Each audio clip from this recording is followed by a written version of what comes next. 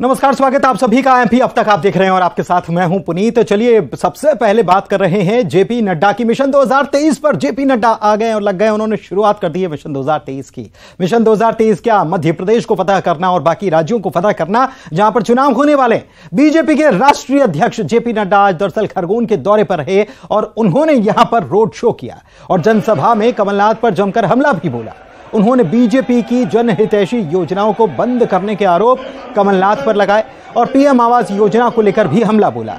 JP Nadda ने यह आरोप लगाया कि जब कमलनाथ की सरकार थी तो उन्होंने एक लाख अट्ठाईस हज़ार पीएम आवास योजना के घर केंद्र सरकार को वापस भेज दिए थे। जेपी नड्डा ने जनता का अपराधी उन्हें बताया।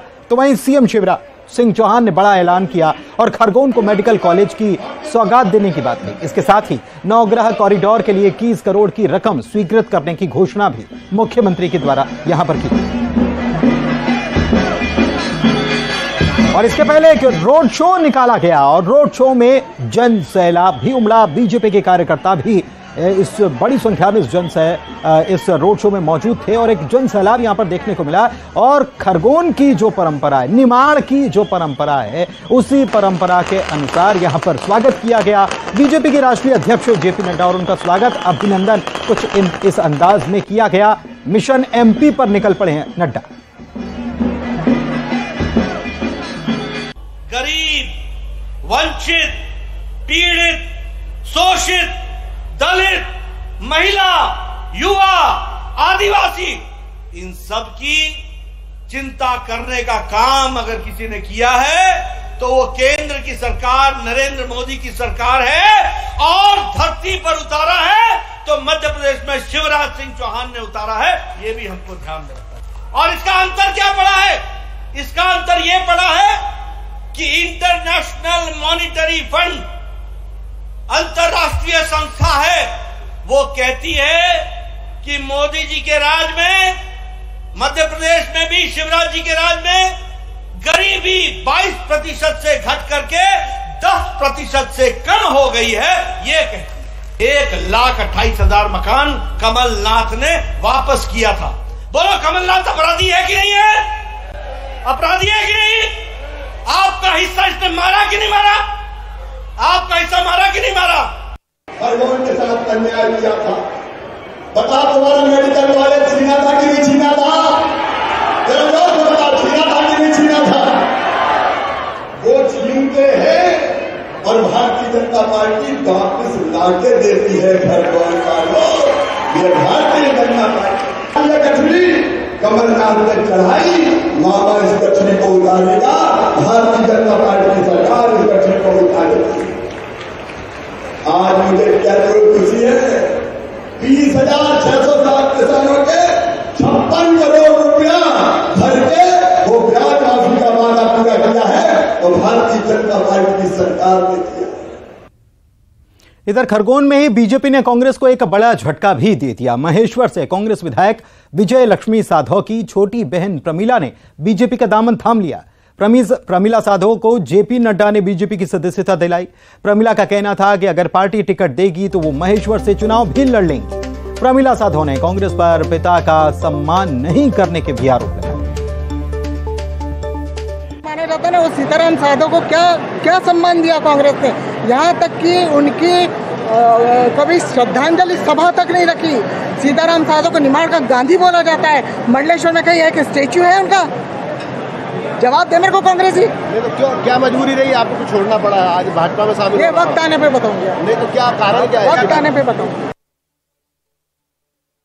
तो वक्त आने पर वो बता देंगे कि क्यों बीजेपी ज्वाइन कर ली क्यों छोड़ दिया। बढ़ते आगे पीएम नरेंद्र मोदी कल मध्य प्रदेश के शहडोल आने वाले हैं। प्रधानमंत्री मोदी यहाँ पर सिकल सेल एनीमिया अभियान को लेकर शुभारंभ करने वाले हैं। एक बड़ी योजना है इसको लेकर। इसके साथ ही वो पकरिया गाँव में आदिवासियों के अलग अलग समूहों से सीधा संवाद करने वाले इस कार्यक्रम में मुख्यमंत्री शिवराज सिंह चौहान के अलावा बीजेपी के आला नेता भी मौजूद रहेंगे और इसके लिए सारी तैयारियाँ पूरी कर ली गई।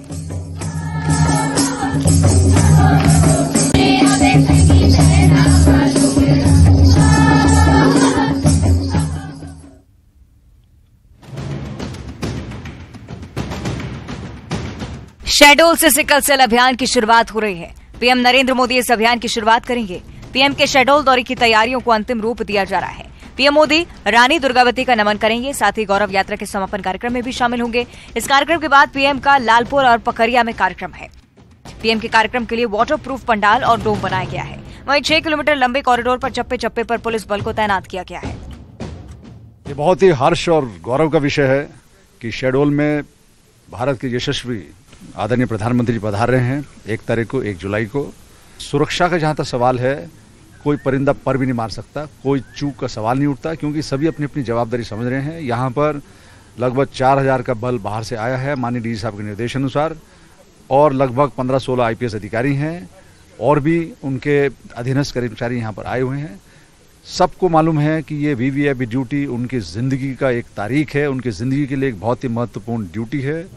पीएम स्व सहायता समूह की महिलाओं के अलावा फुटबॉल क्रांति अभियान के खिलाड़ियों से सीधा संवाद करेंगे। पेशा समितियों से पीएम चर्चा करेंगे। खास बात यह है कि ये पूरी चर्चा खाट पर होगी।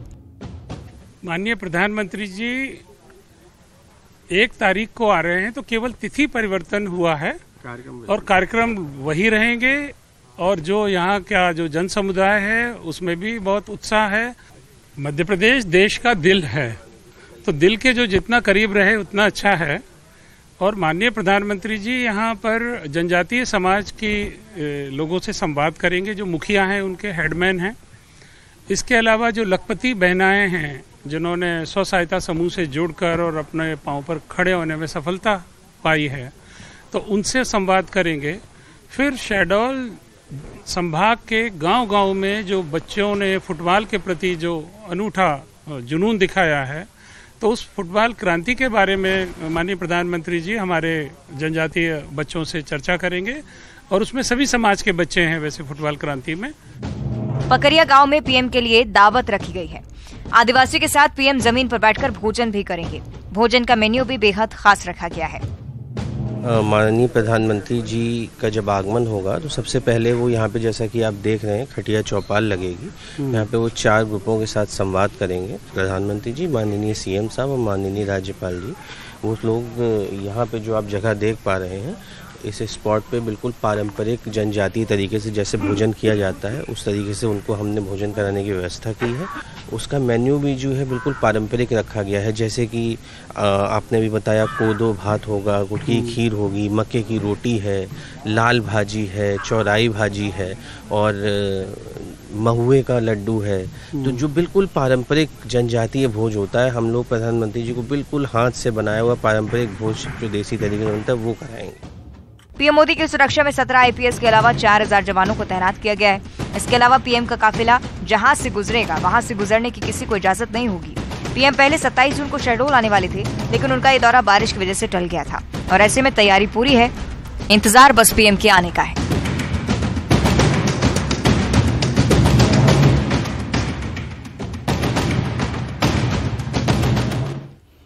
और इसी खबर पर बात करते हैं अनुराग श्रीवास्तव से। हमारे संवाददाता हमारे साथ मौजूद हैं। सीधे उन्हीं के पास चलते हैं। अनुराग, ये वाकई में बहुत बड़ा और बहुत महत्वपूर्ण प्रधानमंत्री का दौरा था, जो कि पहले स्थगित हुआ और उसके बाद फिर से अब कल प्रधानमंत्री आने वाले हैं।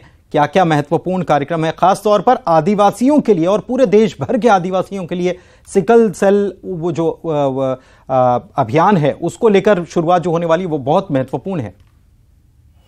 बिल्कुल देखिए, आदिवासियों में एक तरह की बीमारी होती है, सिकल सेल अनीमिया और इसी को लेकर प्रधानमंत्री नरेंद्र मोदी जब शेडोल पहुँचेंगे तो सिकल सेल अनीमिया से जो पीड़ित लोग हैं, उनके इलाज के लिए, उनकी जाँच के लिए जो पोर्टल है, उसको लॉन्च करने का काम यहाँ पर करेंगे। और इसी के साथ आयुष्मान कार्ड का जो पीवीसी कार्ड है, जो तैयार हुआ है, उसका भी वितरण एक तरीके से शुरू करेंगे। तो आदिवासियों की जो समस्या है, उसको किस तरीके से दूर किया जाए, इसको लेकर प्रधानमंत्री नरेंद्र मोदी का शेडोल दौरा होना है। सिर्फ़ मध्य प्रदेश ही नहीं बल्कि मध्य प्रदेश के अलावा दूसरे राज्यों में भी जो आदिवासी हैं जिनमें सिकल सेल अनीमिया की शिकायत निकल कर आती है उनकी जाँच और इलाज की व्यवस्था जो है कैसे बेहतर हो इसको लेकर प्रधानमंत्री नरेंद्र मोदी शहडोल से संदेश देने का काम करेंगे। तो आदिवासियों के बीमारी से लेकर आदिवासियों के क्षेत्र में जो हम्म। बेहतर काम हो रहे हैं आर्थिक रूप से उनको सशक्त बनाने के लिए काम हो रहा है उन तमाम पहलुओं को लेकर प्रधानमंत्री आदिवासियों से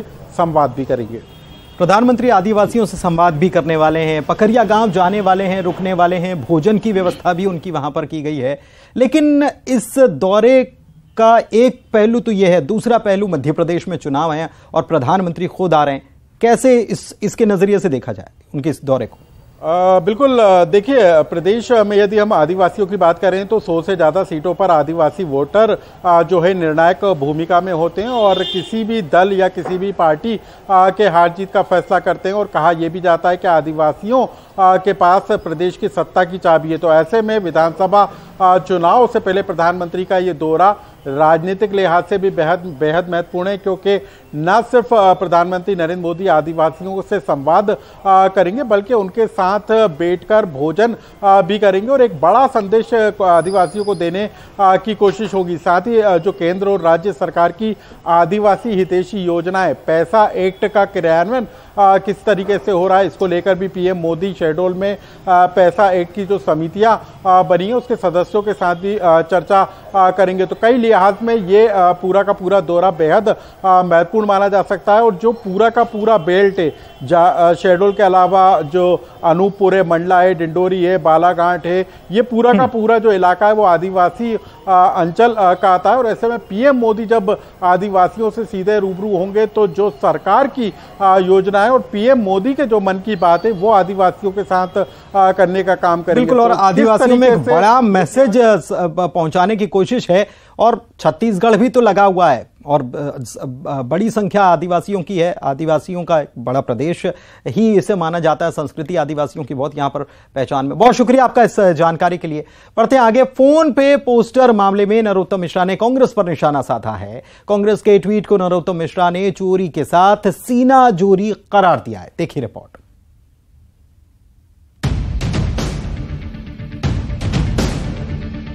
ये कांग्रेस का ट्वीट है जो फ़ोन पे के ट्वीट को लेकर किया गया है। कांग्रेस ने कंपनी से सवाल किया है। साथ ही साथ कानूनी कार्रवाई की भी चेतावनी दी है। दरअसल फोनपे ने एमपी में सरकार के खिलाफ लगे पोस्टर पर आपत्ति ज़ाहिर की थी। कांग्रेस की चेतावनी पर गृह मंत्री नरोत्तम मिश्रा ने निशाना साधा। कहा कि ये तो चोरी के साथ सीना जोरी हो गई। ये तो चोरी और सीना जोरी हो गई है। और फ़ोन पे वैसे कांग्रेस के लिए बना भी नहीं है। जो एक नंबर का पैसे का ट्रांजैक्शन होता है, उसके लिए बना। ब्लैक मनी वालों के लिए नहीं बना श्रीनिवास जी।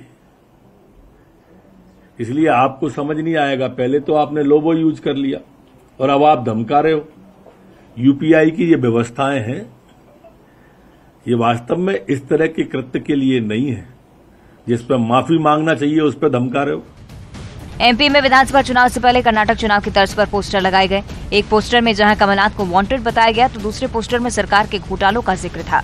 मज़े की बात यह है कि बीजेपी और कांग्रेस दोनों ही पोस्टर लगाने की बात से पल्ला झाड़ रहे हैं। हाँ इस मसले पर जुबानी तीर खूब चल रहे हैं।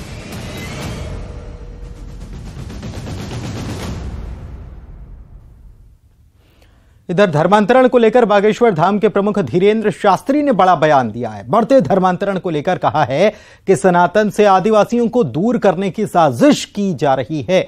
धीरेन्द्र शास्त्री ने महीने में तीन दिन आदिवासी इलाकों में राम कथा करने की घोषणा की और कहा है कि कथा की व्यवस्था बागेश्वर धाम की तरफ़ से ही की जाएगी। अब हम जंगल में जाकर के वन में रहने वाले वनवासी आदिवासियों को कथा सुनाएँगे। हर महीने में तीन दिन धाम की तरफ़ से भंडारा, धाम की तरफ़ से टेंट, धाम की तरफ़ से कथा, पूरा खर्चा हम स्वयं वहन करेंगे। 29 और 30 जून, एक जुलाई को किशनगढ़, छतरपुर ज़िले के किशनगढ़ क्षेत्र में 40 गाँव जंगल में आदिवासियों के हैं, जहाँ पर लगभग पच्चीस हज़ार आदिवासी रहते हैं और वहाँ एक गाँव है जिसका नाम है पटेरी। पटेरी गाँव में तीन दिन की कथा होगी और हमें खबर मिली है, पूरे ऊपर तक तहलका मचा। शायद शायद, पक्का नहीं। कोई बहुत बड़े लोग भी उसमें पहुँच रहे हैं। सिंगरौली में नाबालिग के साथ दुष्कर्म की वारदात को अंजाम दिया गया। मासूम की हालत गंभीर बनी हुई है। पुलिस ने आरोपी को गिरफ़्तार कर लिया। घटना के वक्त बच्ची अकेली थी। पुलिस ने आरोपी का घर भी जमींदोज कर दिया है। मोरवा थाना क्षेत्र इलाके की घटना बताई जा तो सिंगरौली से हैरान कर देने वाला ये पूरा मामला सामने आया। नाबालिग बच्ची के साथ दुष्कर्म की वारदात अंजाम दी गई है। मासूम बच्ची की हालत अब गंभीर बनी हुई है। हालाँकि आरोपी को गिरफ़्तार कर लिया गया है और पुलिस ने इस तरीके से उसका इस में जुलूस भी निकाला है और साथ ही घर में बच्ची अकेली थी जब ये पूरी वारदात अंजाम दी गई, ये भी पता चला है। फ़िलहाल पुलिस ने आरोपी का घर भी जमींदोज कर दिया है। मोरवा थाना क्षेत्र इलाके की ये घटना बताई जा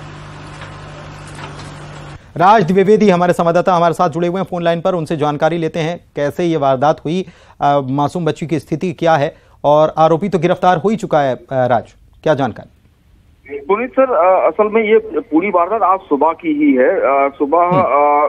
तकरीबन नौ दस बजे के आसपास में बच्ची घर पे अकेली थी और ये जो आरोपी है आरोपी सिब्बू पनिका जिसका नाम बताया जा रहा है ये हम्म। उसी बच्ची के घर पे बैठ के टीवी देख रहा था और उसकी माँ उसी वक्त बाज़ार चली गई।